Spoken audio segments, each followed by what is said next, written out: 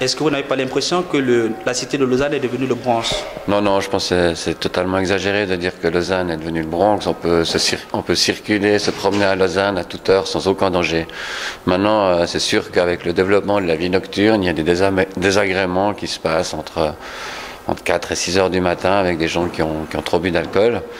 Mais euh, je pense que Lausanne est une ville sûre et qu'il n'y a aucun souci. Donc ça n'a absolument rien à voir avec le Bronx. Quelle solution est-ce que vous proposez, M. Begley Effectivement, si on parle de la vie quotidienne, je pense que Lausanne reste une ville euh, normale. Où les choses sont plus compliquées, c'est quand on parle euh, de commerce de drogue. Là, c'est des bandes organisées. Euh, qu'on parle de cambriolage.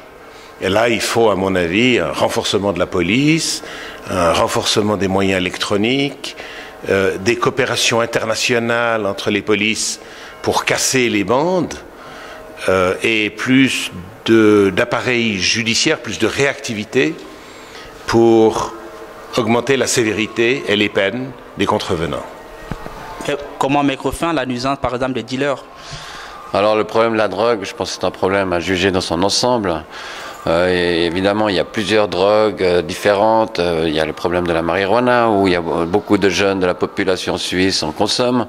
Donc moi, je, serais plutôt pour, légaliser l'usage de, la marijuana, mais sous contrôle de l'État, c'est-à-dire qu'il y ait des dispensaires comme en Californie qui vendraient la marijuana avec euh, contrôle médical et psychologue, ce qui ferait euh, des entrées fiscales pour, euh, pour le pays parce que beaucoup de gens fument de l'herbe.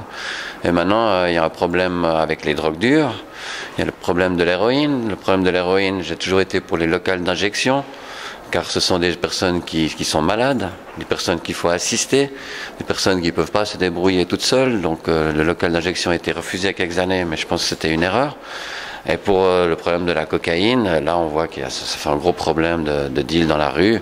Donc là, il y a, il y a qu'un moyen, c'est déjà de réoccuper la rue avec plus de moyens policiers, et puis que tout ça s'arrête de se passer dans la rue, parce que là ça devient un petit peu trop énorme. Êtes-vous d'accord avec nous pour la légalisation de la drogue?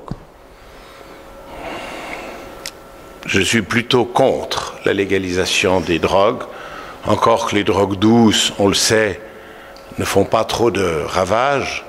Le problème est de savoir comment éviter euh, une continuité entre drogue douce et drogue dure.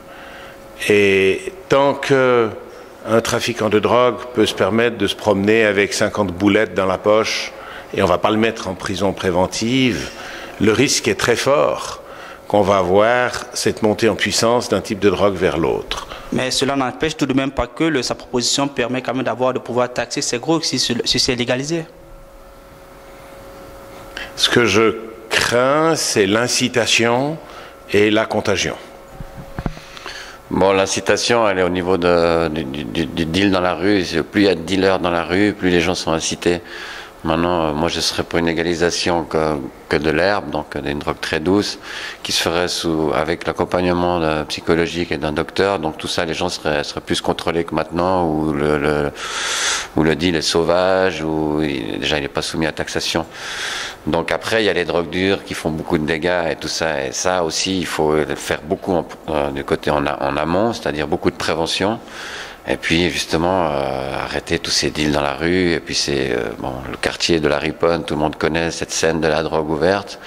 J'ai connu euh, à Zurich, euh, il y a une vingtaine d'années, euh, la scène de la drogue ouverte qu'il y avait à Zurich à l'entrée. C'était quelque chose de terrible.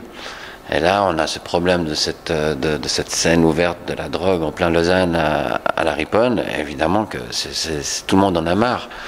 Selon vous alors, les autorités l'acceptent? Les autorités, bah, elles ont essayé de faire passer le local euh, d'injection qui a été refusé par la droite. Moi, je pense que c'est la meilleure solution, c'est que ces gens soient assistés médicalement, car oublions pas que les héroïnomanes sont des gens qui sont malades. Rebelote, les hérénomanes sont des gens malades, et à ce titre, comme d'autres malades, mériteraient d'être traités. C'est quelque chose que je comprends. D'un autre côté, les héroïnomanes sont souvent des gens qui sont en cours d'argent et qu'on va utiliser, par exemple, pour aller faire des cambriolages. Donc ça devient une filière. Et tout le problème est de casser les filières le plus en amont possible.